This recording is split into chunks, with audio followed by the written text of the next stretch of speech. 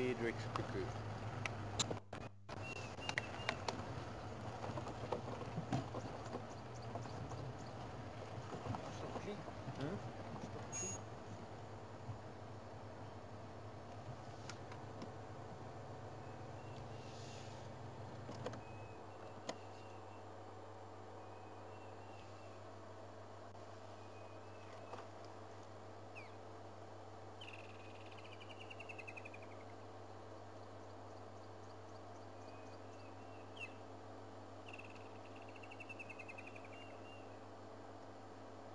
Is that?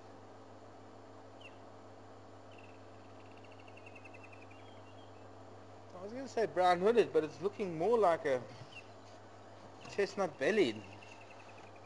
But then maybe a female because the chestnut isn't so strong. I mean now this is quite, uh, would be quite a thing to see one of them because they're normally a, a very strictly water kingfisher, aquatic.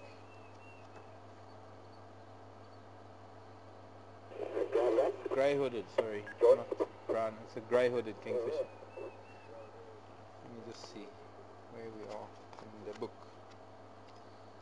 Here we go.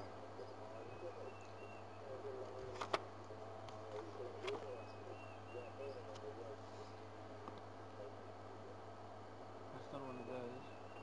Pardon? So It's not one of those. Oh, it is. It's this one. This one's got purple on the wings. That's got blue. It's a lovely dark blue, but it's it's it's it can it, it's the only one that it can be, and it, I think this was once called the chestnut bellied, or maybe I'm thinking of an East African species. But this is it here. The female might have lesser marking. We need to look at that shoulder patch.